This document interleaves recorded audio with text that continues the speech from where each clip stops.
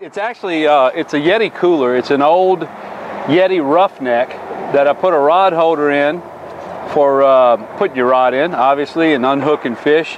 And then, um, you know, it's a big cooler and the door's really heavy. So to, uh, to combat that, I designed, not yet patented, a fish door.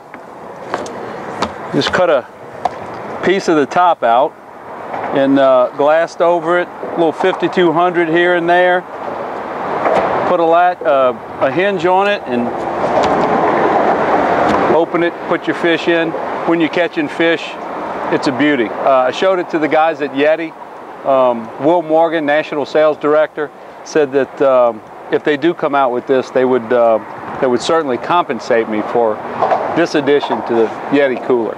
Just joking, but but the, the, the national sales director, Will Morgan, is a good friend of ours. I showed it to him, and he said uh, he said don't show that to anybody. that is not Yeti approved.